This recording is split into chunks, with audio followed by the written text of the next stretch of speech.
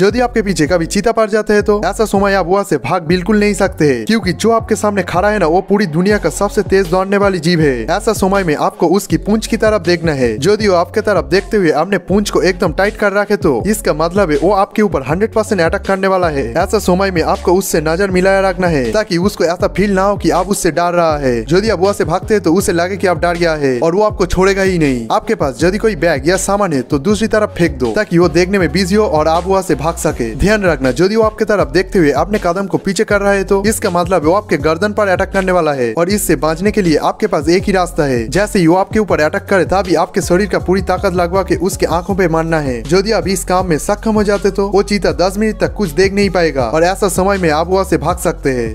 Video को अच्छी लगी हो तो वीडियो को लाइक करना और हमारे चैनल को सब्सक्राइब करना।